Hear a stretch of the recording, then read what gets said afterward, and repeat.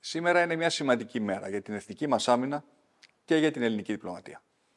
Γιατί με βάση επιστολή που έλαβα από τον Υπουργό Εξωτερικών των ΗΠΑ, Άντωνι Μπλίνκεν, αναδεικνύεται και επισφραγίζεται το στρατηγικό βάθος των ελληνοαμερικανικών σχέσεων. Με αυτήν, η Ελλάδα τίθεται και επισήμως στην τροχιά απόκτησης έως και 40 μαχητικών αεροσκαφών τελευταίας γενιάς F-35. Ταυτόχρονα όμως, αποκτά και εντελώς δωρεάν ένα πολύ μεγάλο πακέτο εξοπλισμών που ενισχύουν καθοριστικά και τους τρεις κλάδους των ενόπλων δυνάμεων, αλλά και το ελληνικό λιμενικό. Πρόκειται για φρεγάτες, για μεταγωγικά σε 130, για θωρακισμένα άρματα μάχης και οχήματα, αλλά και για πολλά ακόμα στοιχεία αμυντικού υλικού. Το οποίο η χώρα μας εξασφάλισε, ύστερα από το αίτημα που είχα διατυπώσει τον Μάιο του 2022 προσωπικά στον πρόεδρο Biden.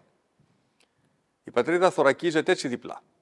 Τη μία πλευρά, η αποτρεπτική της ισχύ μεγενθύνεται σε γη, σε αέρα και σε θάλασσα. Ενώ απ' την άλλη, δεν επιβαρύνεται ο Έλληνας φορολογούμενος.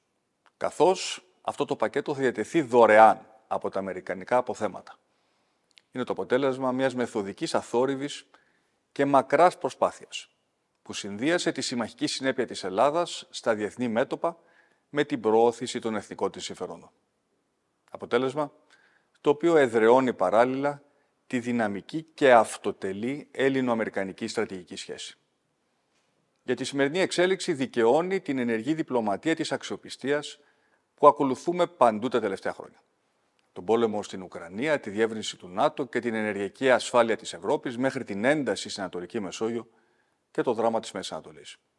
Με καθαρές θέσεις και με πρωτοβουλίες στα μεγάλα ζητήματα, η Ελλάδα ασκεί πλέον ενεργό ρόλο στο δυτικό κόσμο.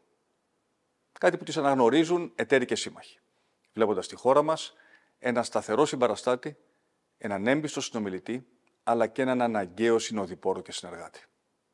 Σε μια εποχή αβεβαιότητας, λοιπόν, η πατρίδα μας επιβεβαιώνει ότι στέκει με σοβαρότητα και γεωπολιτική οριμότητα στον παγκόσμιο χάρτη.